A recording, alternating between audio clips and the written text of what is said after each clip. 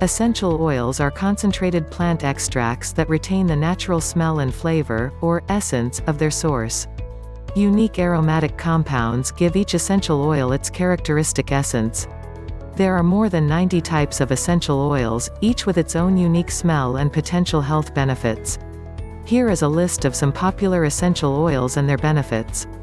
1. Rose oil, it is one of the expensive oils for its soothing floral fragrance that may be useful for stress, anxiety.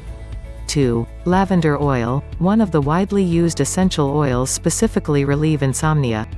3. Sandalwood oil, it is so much popular for fragrance and also helps to relieve anxiety and improve sleep.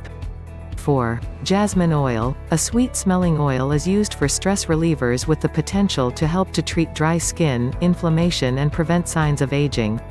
Enjoying the video? Then give it a like and subscribe to our channel. 5. Peppermint oil, it is used for headaches and stomach issues like irritable bowel syndrome. 6. Roman chamomilla oil, it is excellent for relaxation and to improve your mood.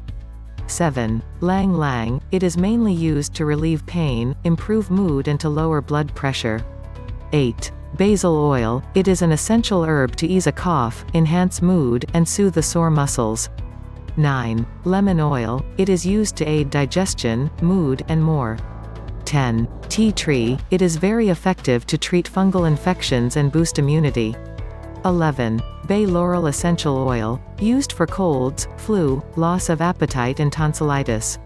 12. Bergamot, used to reduce stress and improve skin conditions like eczema. 13. Carrot seed oil, it is used to ease toxin buildup and water retention. 14. White camphor, used to ease muscular aches and pains, rheumatism, cough and bronchitis. Essential oils are generally considered safe to inhale or apply to the skin if they've been combined with a base oil. They should not be eaten. However, evidence supporting many of their associated health claims is lacking, and their effectiveness is often exaggerated. For minor health problems, using essential oils as a complementary therapy is likely harmless.